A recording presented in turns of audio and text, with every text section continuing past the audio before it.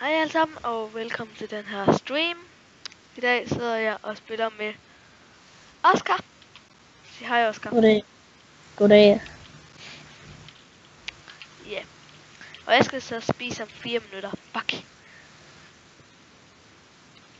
Så, ja. Okay. Det passer faktisk godt, for jeg skal i bad. Nu. Vi ses bare godt.